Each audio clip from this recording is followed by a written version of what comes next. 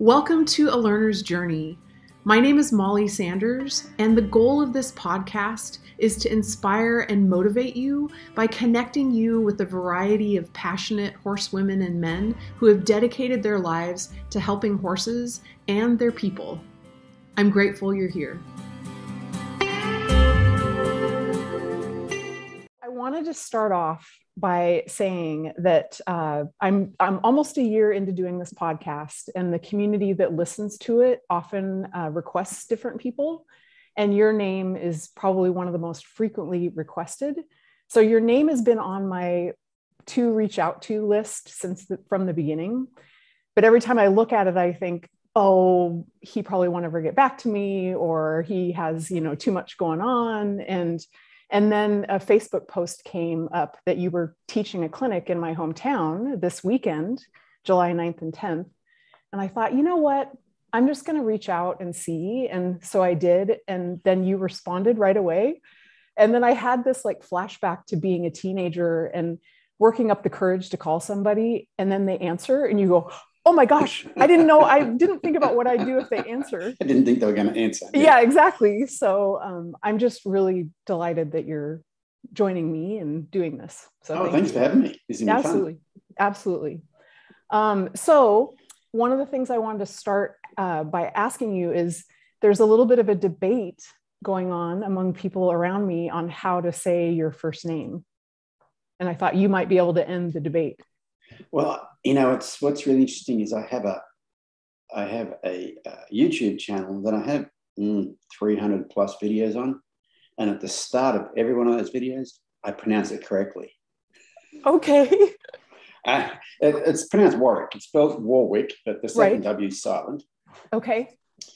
And I actually, it's such a big deal that I actually did a, a, a YouTube video on it and I was oh, really? in I was in England at the time, mm-hmm. and I went to visit Warwick Castle. Okay. And so I'm at Warwick Castle, and I, uh, you know, make this video.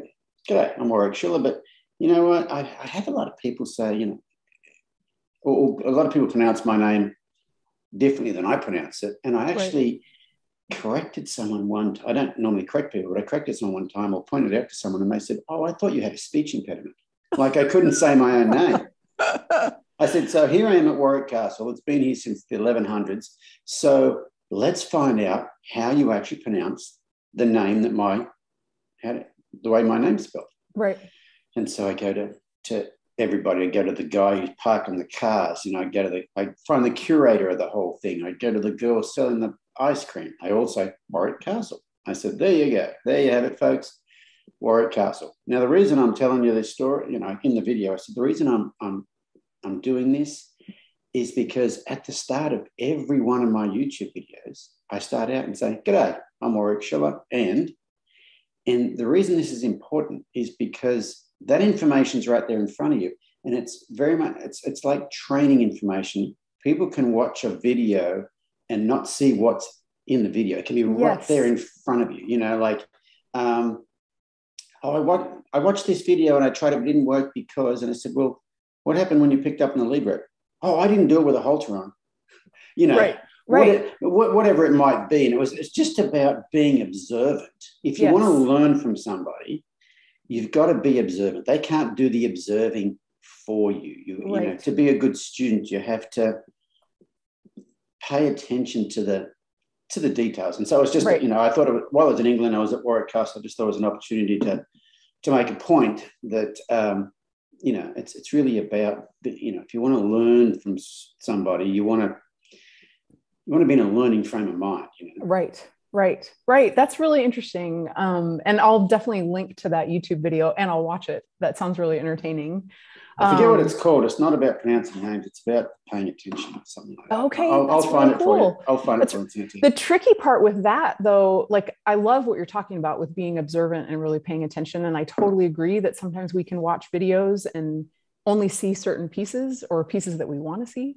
But with your name, I'm so visual. So I see, you know, I'll see the spelling of your name and, you know, in my mind, I think about it the way it, it sounds in my head and i might hear you say it but then i'll see the i'll see the spelling and that'll like override it so mm. Yeah. So if you want to be like that, I could call you Molly. Right.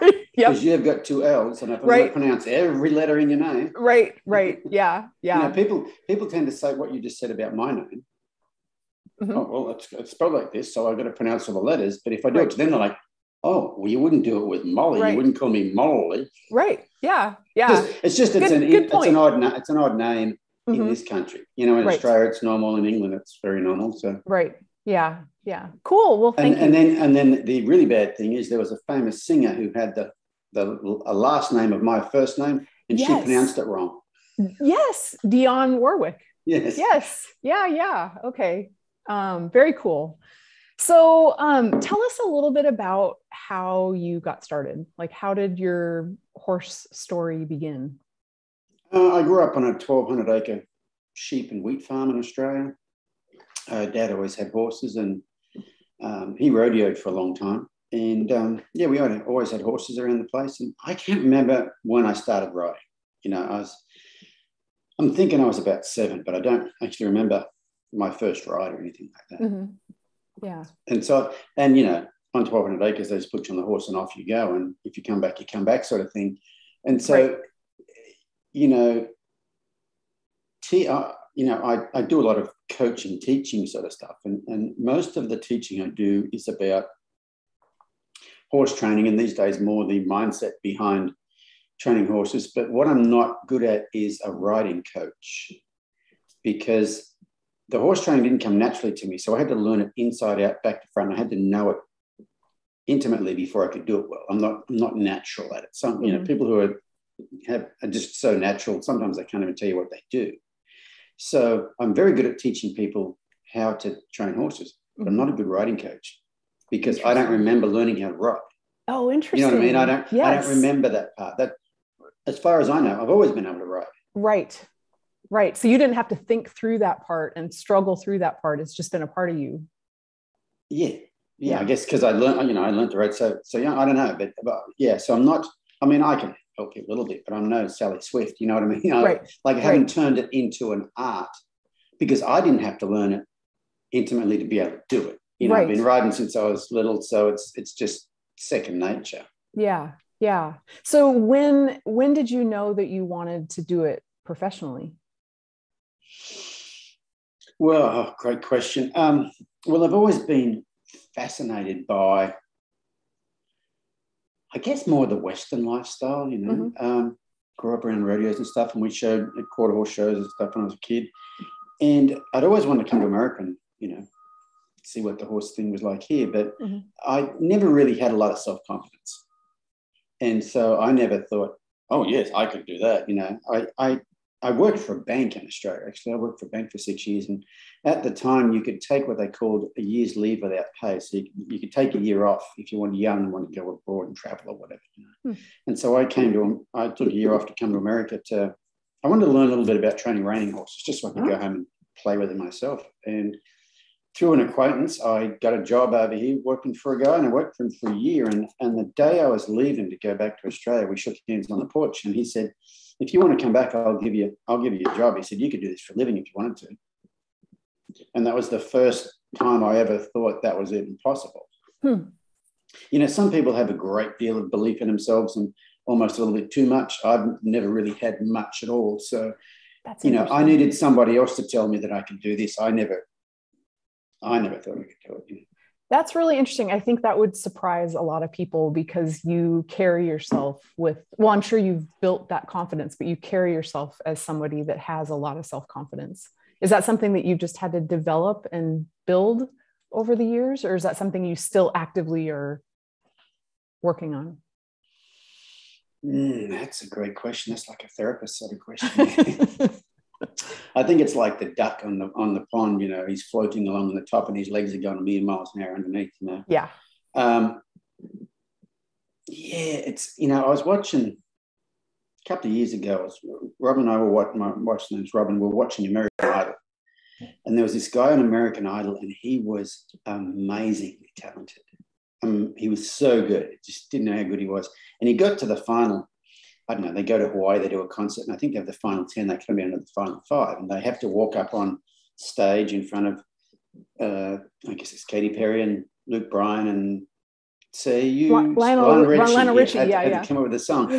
and and Lionel Richie said, the thing about being a star is you have to have equal amounts of unbelievable self-belief and whatever the opposite of that is. Right, doubt probably. Yes, yes. You yeah. have to have the huge amounts of self-doubt. And right. you've got to keep it somewhere in the middle. That's you can't so interesting. Ju- you can't just have self-doubt. Right. You might make it. And you can't just be so full of yourself that you're not you don't notice your flaws. Mm-hmm. He said you have to have equal amounts of both, and you got to stay somewhere in the middle. Super interesting. I was like, whoa, that is a great. That's a that's a great line, and it's and it's almost like you know when you when you're in the public space a bit like I am, you've really got to get to where you. And this is hard. I, I still don't have it good yet, but you've got to get to where the people who love you and the people who hate you, you've got to ignore them both. Oh, that's really good too. You know, the people who think you're the greatest thing since sliced bread and the people who think you're the devil, they're both wrong. Oh, that's so good. So you can't just, you know, you can't just like, oh, they think I'm great. I'm, I am great. Uh, right. Because you're not. Mm-hmm. And they think I suck. Well, you're not that either. Right. Somewhere in the middle. Yeah. And it's, it's, it's hard, you know, like I'm an accidental, whatever I am, you know, in the public space sort of thing. It wasn't a plan, it just kind of happened. And so there's no, there's no school for this stuff. Like when you become, um, you know, kind of widely known, maybe in social media or whatever, you know, whatever, whatever it is that's going on in my life now. Mm-hmm. Um, there is no school to how to navigate right that space you know right. so it's yeah it's an interesting space to be in well that brings me to another question that um, i want to ask you about social media i i think i saw you it's probably five or six years ago there was a youtube video that came up and um, you were just I, I don't remember exactly what you were talking about but you were with a horse and just the way you communicated and the humility that you had and that you know you obviously had skills and were quite accomplished with horses but you were you were conveying that i'm i'm still learning this stuff. And you know you were sharing some of the things that you were discovering. And i just i was so impressed with that and so i started to watch some of the things that you did and you um, one of the ones i remember really well is you went to a thoroughbred breeding farm and I don't remember where it was, but you um, interviewed the fella that did the breeding, and you were really curious about how he trained his foals. And um, that, so that wasn't that was a thoroughbred breeding farm in Australia, and it okay. wasn't the guy that was handling the foals wasn't the breeding guy. He was oh. he was a horseman I know who actually spent quite a bit of time with Ray Hunt when he was younger, and okay. he once a year he would go to this place that he'd, he'd um, halter break 150 thoroughbred weanlings that are still in their mother that haven't been touched. Um, and it's a big job. Yeah. And I saw, he showed me some video. Well, I saw some video of what they end up like. Mm-hmm. And it was amazing. And so I'm like, I want to come and hang out. with. So he, he told, I said, how long does it take to do a set of them? And he said, oh, a set takes about 10 days. So I went to Australia for two weeks. Oh, that's so cool. And uh, went out there with him every day. And the way I do things with every horse now, there's a little bit of that stuff that I learned from him. And it wasn't, it wasn't a technique I learned from him. Right. It was a way of looking at things that's probably a, a big part of of of everything I do these days. Oh, that's really interesting. So, the thing that really struck me about that visit was you could have easily gone and just continued to interview him and have him show you some of the things that he does. It would have been a great interview. But you went a step further and had him coach you through some of the things. And again, I just, it just really struck me. It wasn't like you said earlier, you've never been somebody that thought, oh, I'm going to be Warwick Schiller, you know, my name will be in lights. You know, you didn't have that vision, but you, you just really struck me um, as somebody that wants to learn and is really curious. And you were really putting yourself out there. And so I wonder about that, especially with the things that you just shared about Lionel Richie and, you know, equal self-doubt as um, self-confidence you're putting yourself into vulnerable situations and you continue to do it. You know you've shared so many different things on social media and it's such a gift when people do that. But is that does that come easily for you?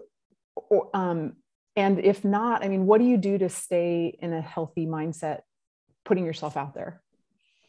Great question. It didn't used to come easy to me in the slightest bit. Um, yeah, not having a lot of self confidence, you almost don't want people to know you don't know stuff. Mm-hmm. So you kind of, so then you have this false bravado sort of a thing. You know, it's, it's kind of like bullies are actually scared little boys. It's kind yes. of the same thing as that, to where you, when you don't have a lot of self confidence, you kind of put on this air that you know what you're talking about because right. you don't want to, you don't want anybody to know that you don't know what you're talking about. Right. And I think for a long time, I was like that. Like I never had, never really had a mentor and that wasn't because I didn't have the opportunity to have a mentor. I don't think I was open enough to to be like, I have no idea what I'm doing. Just tell me what to do. Uh, right. Uh, uh, about oh, I suppose it's 20 years ago now. Uh, uh, when I was, I was, still training a lot of reining horses, and a guy moved from Texas to here in California, not far from us, and they didn't have a covered arena, and he used to come and ride with us quite a bit. And he was he was great because he kind of made me realize it's okay to ask dumb questions. Like he would ask, quote unquote, dumb questions all the time. And I weren't dumb questions, but just like he'd get, I get no idea. How do you do that? Like, yeah. And there was no ego about him at all. He's cool dude, one of my best friends. But um, yeah, like he was the one that kind of made me realize oh, it's okay to. But the thing is, eh, the thing about it is, you don't ask those questions because you are fully yourself. You don't ask those questions because you have so much, you have a lot of self doubt and, yes. and, and insecurity, and you don't really want to be vulnerable about that. It's, it's really about being vulnerable when you when you're asking questions like that. Right. And so, but then you come across as kind of cocky, mm-hmm. whereas you're not. Right. Um, I mean, some people are cocky because they have the right to be cocky, mm-hmm. meaning that they, they, are very good at what they do and they're quite confident in themselves. Right. But then there's the other cocky, and I think it was the other cocky. Yeah. For quite for quite a long time. Interesting. That's so it's so interesting. I heard somebody say, and I wish I could quote them. I can't remember where I heard it, but that um, that idea of not wanting to ask the questions or not wanting to appear like we don't know what we're doing that people that push through that and persevere their desire to learn or their desire to figure things out is just a little bit more than the uncomfortable the, the wanting to avoid the uncomfortable feeling of looking like they don't know what they're doing so it just has to be a little bit more that you want to figure it out yeah but that the, those ratios that you know if you give it a number from one to 10 mm-hmm. I wanted to learn, I wanted to learn stuff at a number 9 mm-hmm. but my insecurity was at a number 10. Right.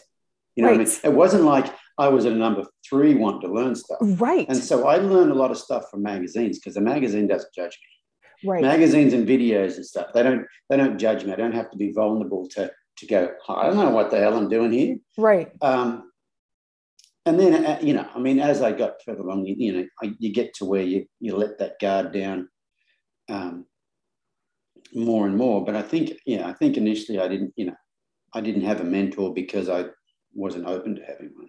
Right. It's it's really inspiring to hear you say these things because you you know you you really do. You carry yourself um, and not even carry yourself. You you seem to live with just who you are. You're you're you have a humility. You admit you know that i'm i'm learning things. Like it's it's really interesting to me to to know you in that way and in video. Like you know i don't know you but to know you in that way in video and listening to your podcast but then to hear that yeah that's that's still a work in progress or it was a big struggle for me at one time. And i think that that's one of the things as humans we tend to think that we're the only ones that oh, yeah. are having a hard time, right? And then yeah. we hear somebody like you sharing that no i i struggle with stuff too it's just it's so um, it's just inspiring so i i really applaud you for doing that um, and i i just think it's a gift um, so yeah yeah well that's I've, I've been i've been lucky to be put in some situations that you know kind of guided me this way but you were saying something there a minute oh you, you said i seem to carry myself a certain way i'm a lot more comfortable in my own skin these days yeah yeah, it'd be interesting. Like you said, your YouTube channel, are there videos from years back where mm-hmm. you'd be able to see the difference? Oh, yeah. Oh, yeah. cool. Yeah, oh, yeah. I can see it. Okay. I can see it. Yeah. Okay. Um, yeah, I'm more comfortable in my own skin, and um, which means I probably know who I am a bit more than I used to. Um, who I really am mm-hmm. underneath all that, you know, that cultural influence and traumas and all sorts of stuff. And yeah, I'm not I'm not who I thought I was. I'm not who I was basically conditioned by society to be. Right. And I think when you can start to unravel that, um, and I'm not there yet by any means. I've only just, I've only just, you know, it's the tip of the iceberg. But when you can really start to unravel that and be comfortable with or find out who you really are and be comfortable with it mm-hmm. oh it's a it's a it's a level of freedom yeah that is is pretty amazing that's really cool and now it's time for a short commercial break this interview came about because of the many requests made on a private Facebook group called A Learner's Journey. This group is made up of horse lovers from all over the world who are dedicated to improving themselves for their horses. If you'd like to be a part of a positive, safe community designed to support you on your journey, we'd love to have you join us. There's a link in the show notes, or you can search Facebook for A Learner's Journey. And now, back to the conversation with Warwick.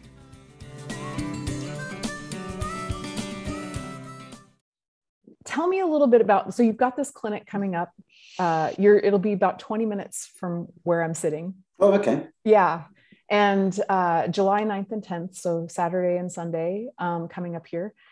Um, and you you travel a fair bit teaching clinics these days since covid kind of lifted or oh i've only just started back um, okay i've just only just started back i um probably about oh, three months ago, it looked like this COVID thing might be finally clear enough to where I could start to travel. So I said to my wife, hey, you can probably start booking me some stuff now. And about two weeks later, she said, you booked every week until November. okay. Wow, she's good. Yeah. That, that's awesome. But what I am doing a lot more this year is domestic clinics, because usually I go to pre COVID, I would go to Australia four or five times a year. I'd go to New Zealand once, I'd go to the UK once, I'd go to Europe once. Okay. And wow. then every once in a while, you know, you have these crazy opportunities to go other places. Like I went to Africa oh, a few wow. years ago, did some clinics, and I went to uh, Morocco in 2019. Yeah, went to Morocco. That one, that one was crazy. I, I got invited by the, I got an email from the wife to the wife of the British ambassador to Morocco. I want to know, could I come to uh, Morocco and work with some horses for the Royal Society for the Encouragement of Horses, which falls under the jurisdiction of the Prince. Got to meet the Prince. Wow, how cool! Uh, went to the races in Casablanca. Um, you know, got to stay in the British ambassador's residence, get driven around in the, the Range Rover with the diplomatic plates by the ex Special Forces guy, you know. And wow. Yeah, amazing opportunity. But that, those sorts of things pop up every once in a while. But, but for the most part, it's Australia five times, New Zealand, UK, and Europe. But this year, you know, instead of booking overseas things in case COVID does take off again, I'm doing um, a lot of domestic, going, a lot of places I haven't been before. That's really great.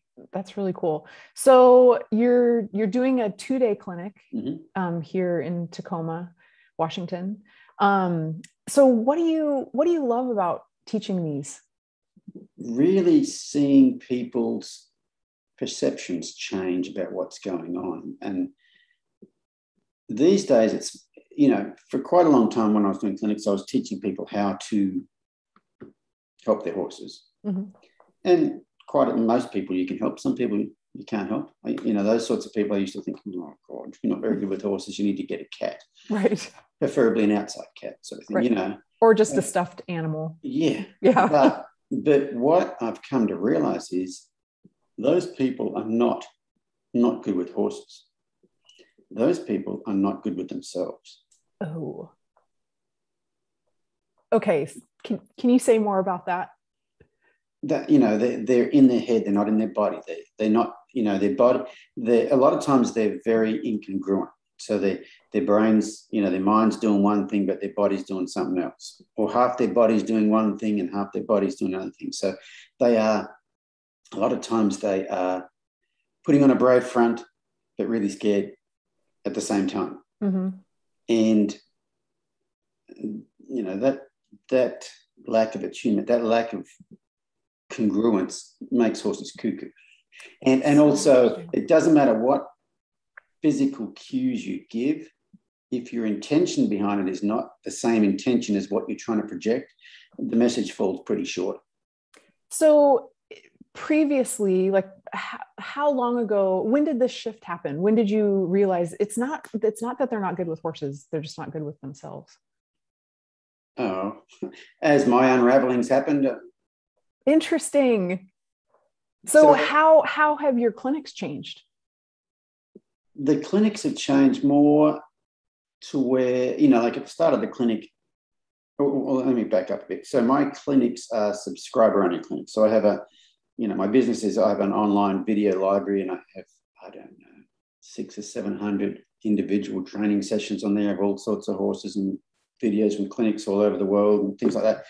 Um, and the reason I have subscriber only clinics is we did it a few years ago because I had people wanting me to do clinics everywhere and to to instead of saying no, I got to I said, well, I'm gonna I'm gonna make them to where they're subscriber only to cut down, then I don't have to say right. no because right. you know, yeah, that that that people pleasing tendency of me didn't want to be the bearer of bad news, you know. Right. But it worked out really well because what would happen before is you'd have, you know, let's say half the people at the clinic are subscribers and have a really good idea of what I'm on about and what I do and how to go about things. And the other half have no idea. You right. got to spend all day helping the other ones catch up. And so that was that was one of the the benefits. But the other thing is, you know, there's all the lead up work to it. At the clinic, I'm not telling you something you've not tried before. I'm refining what you've been working on, watching the videos, and show you how you can do it differently so that you can go ahead. And so when you go home, you've got the rest of the videos to go, right. to go yeah, through. It's, it's not like you go to a clinic and then you go home and go, I don't know what to do now. Right. So as far as the how the clinics have changed, I think everybody that comes to clinics is aware of where I'm at in life now. Right. And at the start of the clinic, I, you know, I'll have a bit of a talk about that sort of thing and how when I started to change my perceptions of things, change my judgments of things, change my inner energy, stuff like that, the horses were completely different. And so it, hmm. it kind of gives me the permission to, when someone's doing something and I can tell it's not um, well, it's not working, but it's not not that it's physically not working. It's the mental story they're telling themselves, which could have to do with childhood or anything really. Sure. I can point it out without them feeling like they're being picked on. Right. Because I've shared that. That's an. I've shared at the start. I have found out for me that's an important part of. That's a probably the biggest part of the whole thing, and that's that's why in the past some people I couldn't help because right. they could get the technique right, but their internal dialogue and their all that sort of all that sort of stuff was incongruent, you know, with what they were actually doing on the outside. Right. And so I, I, you know, it's almost like these days I get to point that out and no one gets offended. Right. Right. Yeah. You're speaking, they're, you're speaking the same language. Like they're, they're thinking that that's going to come up in the conversation. Right. And yeah. I've already, you know, I've already shared a lot you know, not just at the clinic, but on videos and stuff about right. how that has helped me. Well, and that helps me because one of the questions I had for you that I think you've just answered is on your membership site, it says it's not a method, it's a mindset. That's kind of what you're talking about when you were referring to somebody, somebody can get the techniques, but if the what's going on inside is not aligned, um, it's not going to work as well. Yeah, and well, any technique only works as well as your mental state about the technique. You can you can you can turn any technique into dominance if you look at it a certain way. Yes. You know, it's not what you're doing, it's why you're doing it or why you think you're doing it. Right. Which will make a difference in in how you do it and how they perceive it. Yeah. Yeah, absolutely. Um, that's really great. I think, and it's really cool too because it's it's it applies to every everyone, everyone with horses. It doesn't matter what your discipline. People, you know, listening to this will be going, okay, the you know what is going on in me, and how can I improve that? And then most likely it'll improve no matter what you're doing. It'll improve that that thing. Yeah, and, and what I found is there's a, there's a knock on effect because I have people go, you know what? Since I started doing this stuff, I get along so much better with my husband, my wife, and my kids, and my co-worker, my boss, or whatever. And the funny thing is, whatever it is that changes about them, they've they've been aware of it for many many years, and so is their husband and their wife and their kids and their boss and their co-workers. Right. But they wouldn't do the work for their husband and their wife or their boss, or their kids, or their co-workers, but they'll do the work for their horses. And I think that's ah. one of the really cool thing about horses is people are passionate about them and want to get along with them, and they will do what, for the most part, do whatever they have to do Mm-hmm. to get that to work. But but a lot of the stuff I'm on about these days, it's not horse stuff, Mm-hmm. and so it doesn't just when you change that, it doesn't just change how you interact with the horses. It Right. basically changes how you interact with the rest of the world, really. Yeah. Yeah. That's fascinating. Um, so, can you think of like one of the things that I often bring up in this podcast is the idea that, you know, learning learning can be one of the best things ever can be super inspiring and exhilarating but it can also just you know knock your feet out from under you it can be super challenging um, and can you think of a time in your journey where you were really struggling to learn something and then you got it and what you did to get through that struggle Um, I, I can say probably back about 22 years ago, I think. I was training reining horses and, and I got to a point where I could get them to do things to a certain level. And they could do pretty physical things, but they, they didn't do them with, the style and the ease with which the, the really good guys could get their horses to do it with. And I was always trying to do more to get more. And I went to some different clinics with some some of the best guys in the world, and just turned me on my head as far as I did less and got the result I've been looking for. And you know, I a few years ago we had a, a an intern come and stay with us who was really interested in salsa dancing when she was younger, and so she was so interested in salsa dancing that she actually went to, to when she went to school, went to university.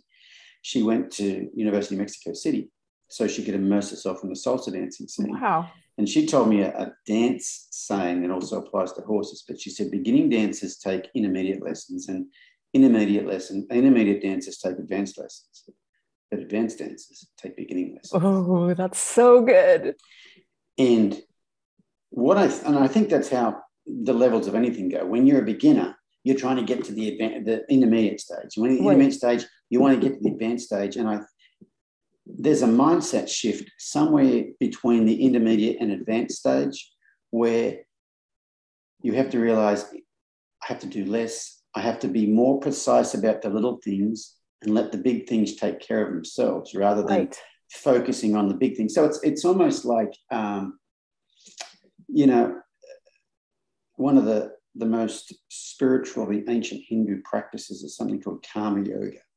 And karma yoga is focusing on a task with no thought as to the outcome of that task. hmm And what you've got to do is you've got to go back to the beginning and start all over again and just focus on that the stuff that you're doing because that's what you're doing, not because it's going to get me to something else. Oh, that's so interesting.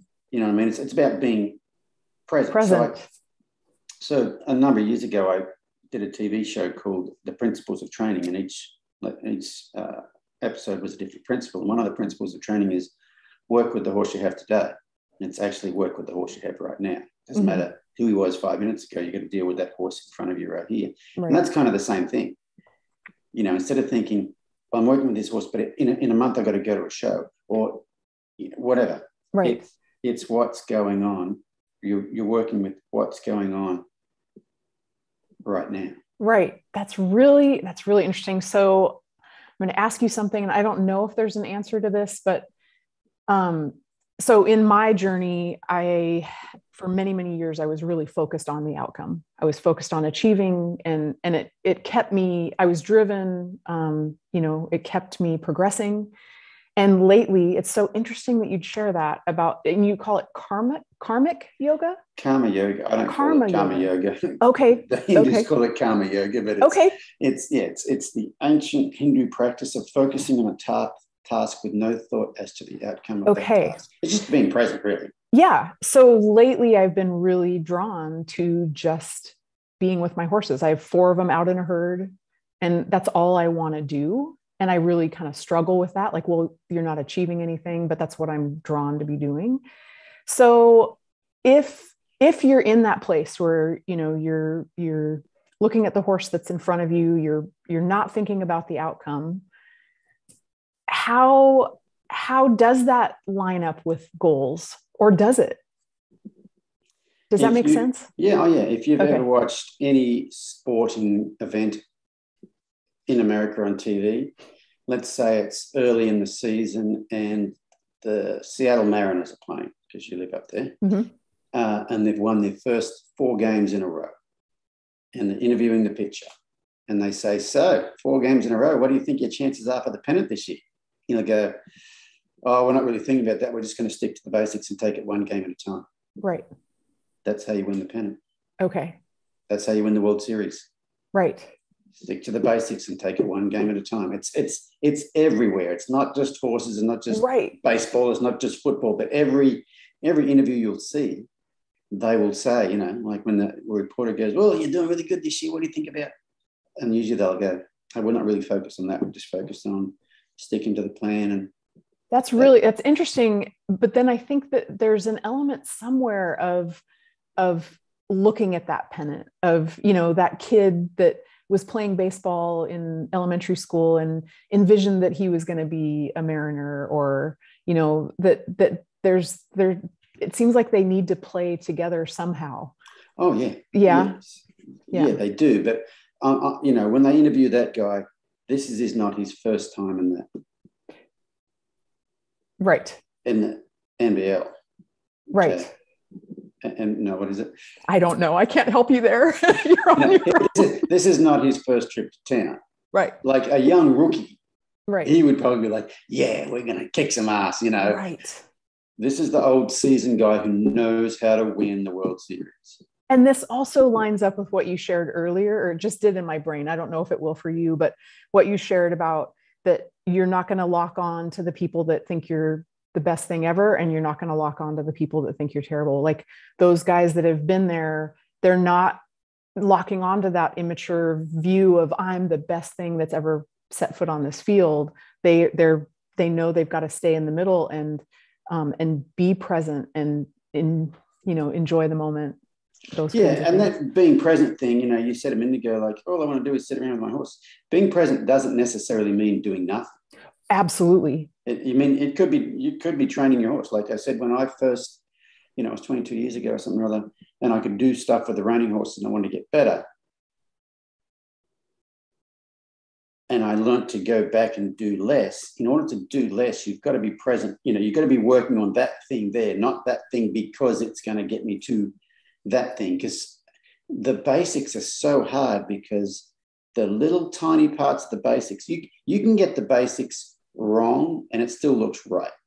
But yes. when you start to build on top of that, you'll only get so far before those things that you missed become apparent and you've got to go back. You know, I, Yeah. I said before, I used to go to New Zealand once a year. There's a horse expo there that I, until COVID, I'd, pre- I'd presented it every year for six years. And most horse expos, you don't get to meet any of the other presenters because you're busy all day long and then you go home. Whereas this place has a has a night show and they have a VIP section at the end of the arena for the night show. And so all the presenters get to, you know, you get to sit there and eat free food and drink free beer and watch the night show. They have a Grand Prix show jumping, they have all sorts of fun stuff. And one of the guys I got to sat, sit with two years in a row actually is a, a guy from Holland named um, Rob Ehrens. And Rob Ehrens at the time was the Dutch Olympic show jumping coach.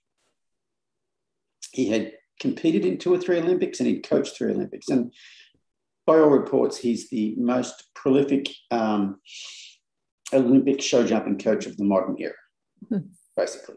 Mhm. And he got to talk about doing clinics. He does a lot of clinics. And I said, Do you ever, you ever people come to a clinic and they go, My horse can only jump three foot. As soon as you put it up to three foot three, he can't jump anymore. We have all sorts of problems. Do you ever get to help those people at three feet, or do you have to go back to the beginning? He goes, Oh, Oh. always have to go back to the beginning. If you if you always can jump three foot and can't jump three foot three, it's not the horses. It's not a, a horse problem. It's not a jumping problem. Mhm. There's a foundational problem somewhere, Right. and you've got to go back to the beginning. Another guy I met at the same horse expo, but different year. His name is Albert Voorn. He's, a, he's from Holland as well. Mhm. He's a show jumper. Won the silver medal at the 2000 Olympics. Hmm. In sh- bronze medal, silver medal in show jumping. Coolest, coolest dude you ever met. Very Mhm. old school military. Everything is just perfect. Um, and I, you know, I usually have two or three uh, sessions a day at that horse expo, so I'm pretty busy. But right after one of my sessions in one of the arenas, Albert Voorn was doing a, a thing on jumping a meter 50. Okay. I don't Mhm. know if you know anything about jumping, but a meter 50 is a big jump. Yeah. Okay. That's when Yeah. it's getting serious. Right. So that would be like four and a half feet or under five.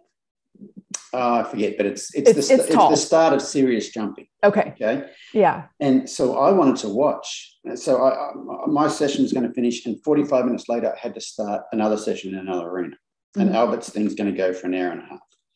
And so I sit there. I want to watch how does that Olympic silver medalist work on something very, very big, hmm the hard stuff.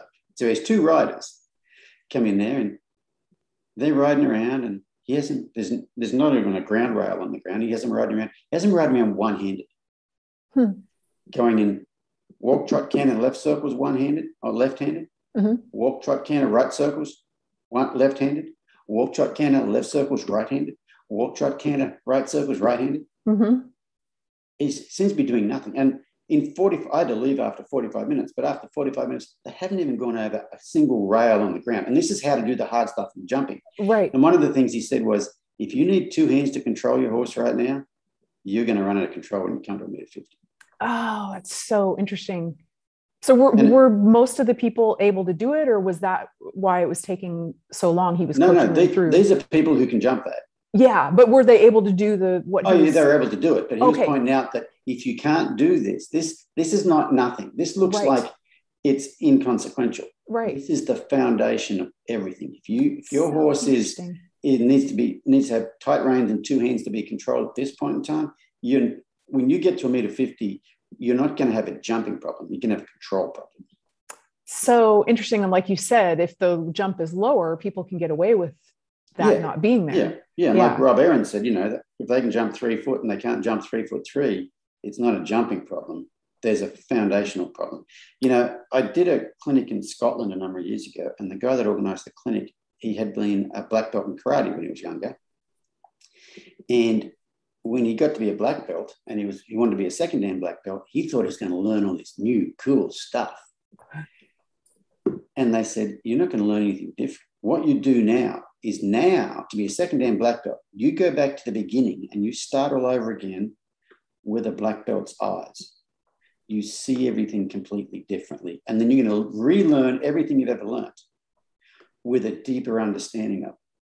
so it's so you're interesting. Not, you're not doing more. You do. You, you go back, and it's just like I said. You know about beginners do the advanced lessons and advanced, uh, uh, intermediate lessons, and intermediate people tend to take advanced lessons. Right.